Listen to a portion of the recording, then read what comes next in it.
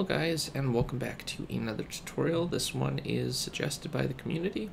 So today we are going to be learning how to make our own farmland and use it in the custom crops. Um, this was suggested by one of the people on my YouTube channel, so uh, let's get started.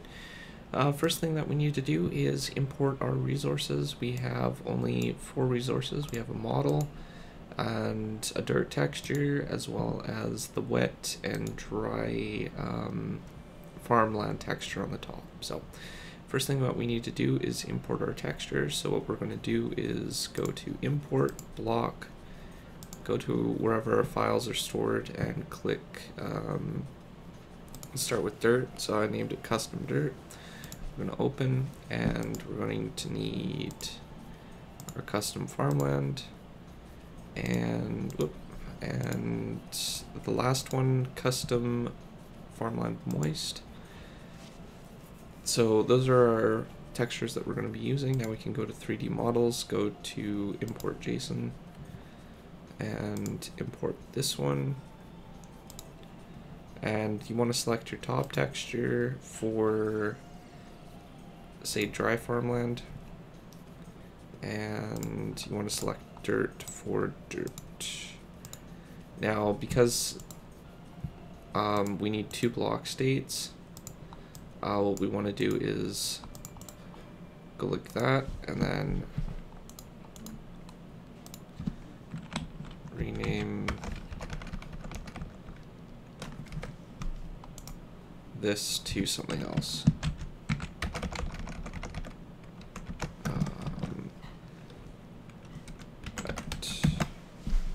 So now we can import this one. So that one, and then open, and then we want to select our moist one, and then our dirt. And click next. So that's basically how you import that. I'm not entirely sure how to detect um, how the distance of the, the water gets the farmland moist. I think it would be an update tick. I haven't really experimented too much with it. I'm just going to show you how to use a block today with um, the actual mod. So we're just going to be using a single block. Uh, so we're not going to be using both of those models. We're just going to be using one uh, until I can figure out how to make functional farmland. So uh, what we need to do is go to block and create a new block. So um, farm land dry. Uh, we can just do wet. And go here and then we want to select our texture. So I'm just going to select the wet texture here and then we're going to slow select this one. And uh, we want it to be a cutout map or MIPT and for the dimensions so with the block dimensions, what we want to do is actually look from the 16 pixel height because we're shrinking at one pixel. So this is the number that we're going to have to put in. So 937. So if we go over here, we go to our one and go 0 0.937. And then we don't need to add any other information. We don't need to rotate the block, that's fine. Uh, what we need to do is give it a GUI name. So I'm going to give it um, custom farmland. And for the uh, type of tool, we're going to use a shovel. We don't want it to be affected by silk touch. We're actually going to tell it to drop uh, dirt. So we're going to select that one drop amounts. One's just fine. Uh, we want it to have the sound of ground. Ground's fine here too. Tick rate is fine. Harvest level, uh, we can set that to zero. And can plants grow on this block? No, we don't really need to set any other settings outside of disabling it from the inventory, but that's only if you have a tool set up, so we're not going to worry about that right now. Um, Now for these settings, if you go to Breaking an Explosion Minecraft Wiki and scroll down until you find Farmland, should be somewhere near the bottom, not exactly zero, but uh, near dirt, coarse dirt, dirt, farmland. So farmland for breaking, which is 0.6. So hardness is 0.6. And go to explosion and we scroll down until we see farmland somewhere down here. So it's three. So we set this one to three for resistance. For explosion, resistance. So. So that's all we need from the internet and we can click next. Particle effects we don't need unless you want to add your own, that's fine. You can play around with that. Um, we don't need a block inventory, so we can just move on from that. Um, this, we currently don't need any procedures. Uh, when I figure out how to update the, the block for like moisturizing if there's water nearby, I would probably have to create a script for people to download and use because um, I have a feeling it's going to be really complex. So um, right now, don't worry about this. And uh, as far as block generation, you don't need to worry about that either. So the next thing that we actually need to do is import our, um, or configure our seeds to actually be able to place on this. So what we want to do is go to seeds. And if you see here where it says um, farmland here, I think this is farmland, pretty sure it is. Yeah, that's farmland. It's the old texture for it, that's why. So we're basically testing with the seeds if you're not familiar with the code. If not, I'll link the tutorial down in the description. Uh, it's like a five part tutorial series, but um, it covers all the basics of all the code, how it works. So it's basically testing uh, for two things, if there's air in that spot and uh, if there's farmland below in the current right click of the area. So, so what we want to do is actually click on this, duplicate it. We can get rid of one of these and what we want to do is go like this go like that go like that like that and set this to or. And now we want to select our custom texture here. Now if you have um, a dry state as well so you would want to expand this one and put another one of these on it so I'll just demonstrate it.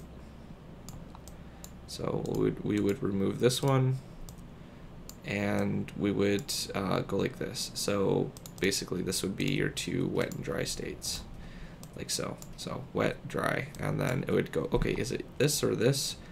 But it would also say, oh, is it these, right? So if it only needs to be one of these if it's like that. And statements basically mean all this has to apply. So one of these basically has to be there, one of these three. But this, the it has to be either farmland and an air block above. But it can't just skip the uh, farmland or vice versa. Both of these have to register, regardless of what three of the one it is. So, actually we don't need that. I'm just going to set this to delete and we're going to move that, delete and bring this back to our regular state. And this is what you're going to need um, because we just have one state. So we're going to go next. And I think, if I'm not mistaken, expand, yep. So what you're going to want to do as well is um, add uh, and statements to all these things here too. So we want to go to Minecraft Logic, grab this light blue one, And where this is here, what we want to do is add that to this operator or yeah operator and then we want to go or we're just going to duplicate this. And find it again. I think it's this one. We're just going to close that uh, like that.